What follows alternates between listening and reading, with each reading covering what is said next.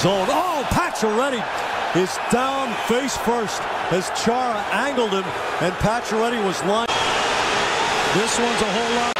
Jamal Mayers down the left wing. Back at Sunquist Whoa. as he gets clean. by Babbitt.